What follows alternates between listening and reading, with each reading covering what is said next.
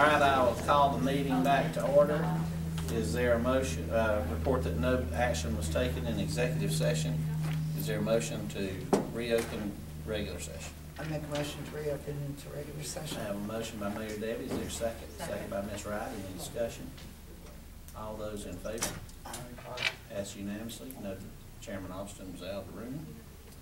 Uh, any other business from the members of the authority? If Not, I'll entertain a motion to adjourn.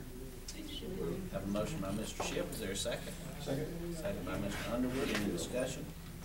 All those in favor?